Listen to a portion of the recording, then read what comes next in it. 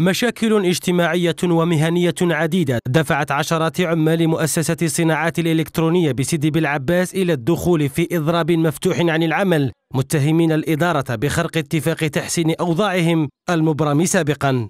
حنا قلنا لهم على أساس أن العامل كيجيب له ال kit ويخدم ومين ما يوصلش l'objectif يا خويا حاسب على l'objectif وانما ال kit مكاش. وتحاسب على على اسمح لي على الحاجة لافسري هذا ماشي قابلين رانا نسالوا 8% من الشطر الأول والشطر الأول تاع 30% ما هو نورمالمون أكثر من 30% تجميدهم للنشاط بوحدة إنتاج أجهزة التلفاز. جاء بعدما لم تجد مطالبهم آذانا ساغية من قبل مسؤولي المؤسسة. نخدم 30 عام هنا في المؤسسة.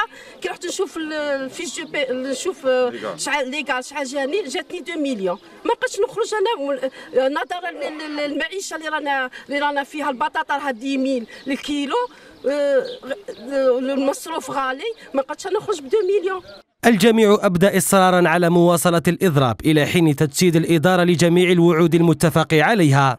حنا نطلبوا حقنا وصي هذا هو شنو نقولوا؟ نطلبوا كاع حقنا تاع أولادنا. رانا حنا توالى في والله لا رانا توالى في الجزائر حنا خلصت تاعنا أمام هذا الوضع رفض المدير العام للمؤسسة الإدلاء بأي تصريح لعدم حصوله على ترخيص من طرف إدارة المجمع. وتبقى مثل هذه الحركات الاحتجاجية تهدد مستقبل المؤسسة في ظل المنافسة القوية التي تشكلها المؤسسات الخاصة.